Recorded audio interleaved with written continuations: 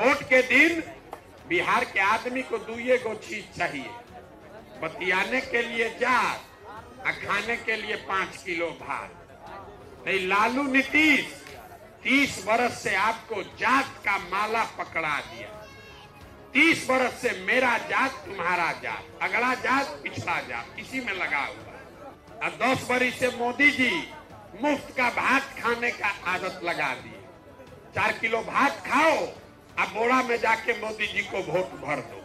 इसीलिए पूरा जीवन हाथ फैला के भात खाओगे जात का नाम का माला जपते रहोगे, जीवन कभी नहीं सुधरेगा।